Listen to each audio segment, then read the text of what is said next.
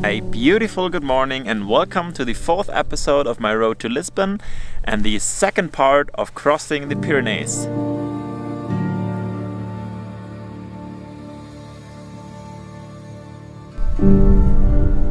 If you haven't seen my previous episodes, you, sh you, should definitely check them out to get a feeling of how I got here, especially episode number three.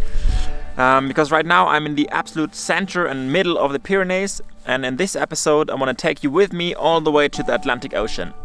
And also want to talk about how I plan my routes for those of you who want to go on, a, on their adventure themselves, and also how I find these beautiful huts that I stayed in the last couple of days. You can find my exact route in my Komoot collection. I will link it down in the description. Exactly like in the previous episodes, I want to focus on the most spectacular parts and that's why we're starting off right today because that's probably gonna be one of the highlight sections of the whole trip. So let's not waste more time and go right up to that ridge. Vamos!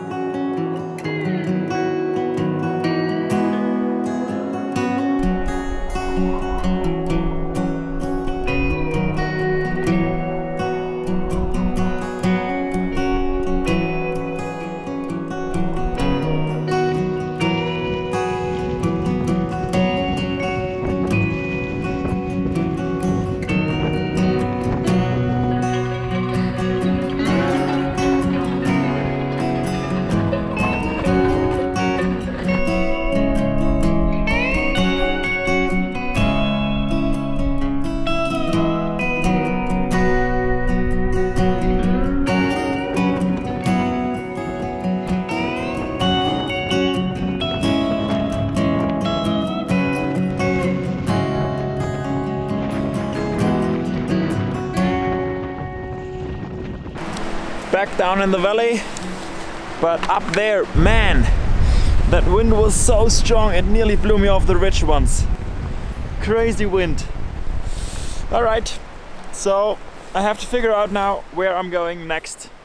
Alright, so now I'll have to make a plan for the next couple of days. Um, I want to look for another really remote part in the High Pyrenees before I'm heading towards the coast. Um, so yeah, let's jump straight into Komoot and let's see if I can create a nice uh, route for the next couple of days. So let's open up Komoot and the uh, route planning. Uh, right now I'm here in Broto. So that's here and I want to get into these high mountains once more. So let's zoom into it and let's let's look if there is maybe a chance to cross them at one point. So up here is a paved road. I don't like that. It's not really remote. And also there is a ski resort. I don't like that either. So maybe a bit further south. This part here looks promising. Maybe I can find a way to cross it here. So there is an option maybe. And here this could be this could be reasonable here. So it looks like there would be a gravel road up to here and then a bit of a single trail um, a bit of bike carrying up to that pass. Yeah, that looks really cool. Now I have this, this road that could be nice, but I also want to look for places to stay up high. So maybe I can find a refugio in this area as high as possible. So I found a website which is super cool. I can, I will definitely link it down in the, in the description for you. Um, it's called PyreneeRefuge.com and it shows basically all the refugios in all over the Pyrenees, which is amazing. So let me zoom into the area where I found my trail. This is right here, and yeah, it seems like there is a few options. That's very cool. So there's one down here at 1520. Um, maybe it's, I want to sleep even higher than that maybe. So yeah, there's, there's another one, 1820. So let's open the more, more information. Wow, that looks super cool. Oh, wow, that's amazing. I love that. It looks so cool.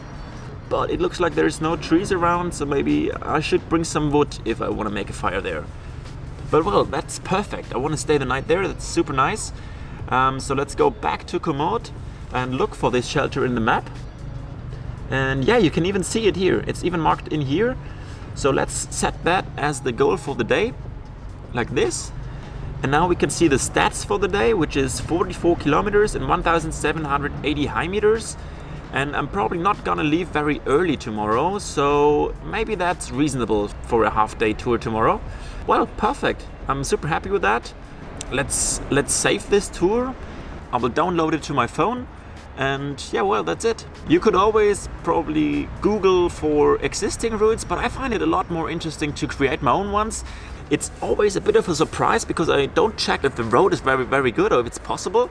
Don't know how hard it will be to carry my bike up up to the pass. I really love that and uh, I think this is a really really cool remote area there. i am expecting to meet no people there. Komoot is like the perfect tool to really plan your individual um, unique roads so maybe you can adapt a few things to your own route planning. So let's see how that goes tomorrow. I'm excited. I have to be really honest, I urgently needed the break day yesterday. The last couple of days were just super exhausting. Um, the Pyrenees are really tough. There's a lot of elevation gain to overcome. There's, uh, it was cold, it was windy, um, but it's not a complaint at all. I loved every minute of it, but I just needed some recovery to be able to, to still enjoy that that beautiful nature here in the next couple of days. So time for a last break and then let's go for the last 1000 high meters for today.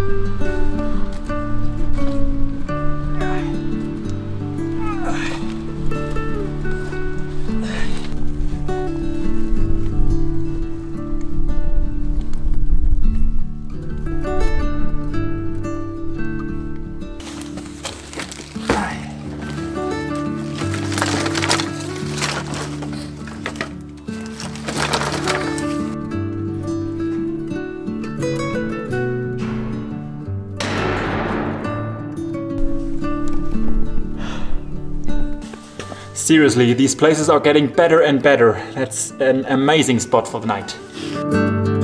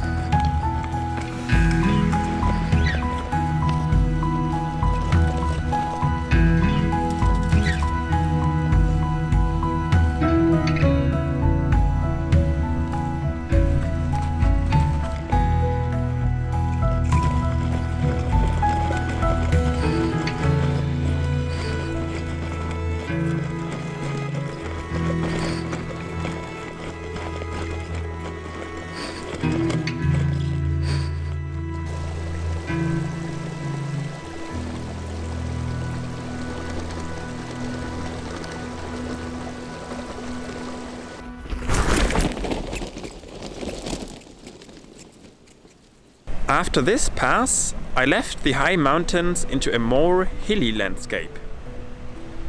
It was still a good 300 kilometers to the Atlantic Ocean from here.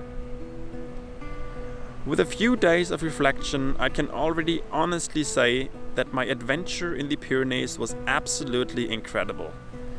Thinking back to these mornings, absolutely alone in the middle of these beautiful mountains, still gives me goosebumps.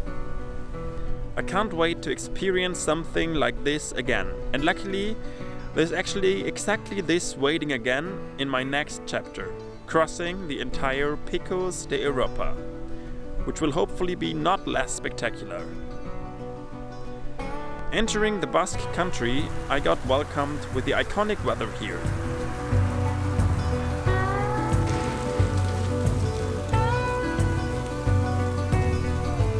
Had some rainy days.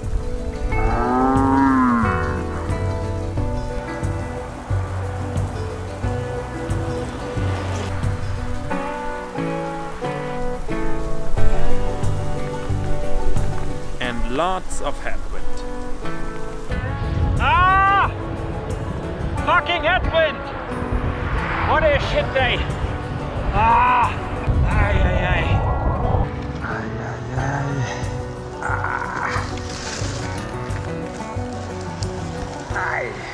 But after two weeks in solitude in the mountains, it was nice to eventually explore a bit of the Spanish and Basque culture with its absolutely lovely people.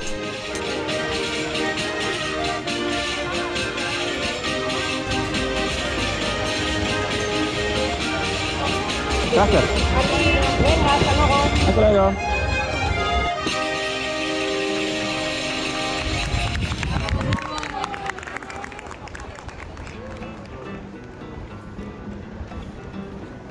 After 18 days since leaving the Mediterranean Sea, I eventually made it to my next huge milestone the Atlantic Ocean.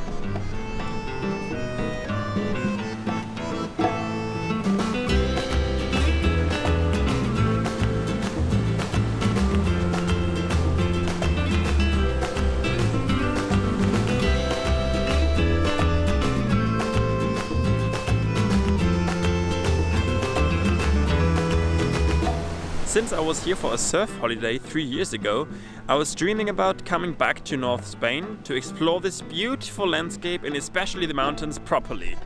And now I'm finally here and I'm super excited about that. I think episode 5 will be the next huge adventure here, crossing the entire Picos de Europa. So don't forget to subscribe to my channel and turn on the notifications to not miss the next video. Also follow me on Instagram for daily life updates. And if you like my videos, give them a thumbs up, that helps a lot. Thanks for watching this episode. I will now take a few days of break here in San Sebastian. Surfing is absolutely beautiful here. I want to do that as often as I can and then I'll move on into the wilderness again. So greets from San Sebastian and see you in the next episode. Bye bye.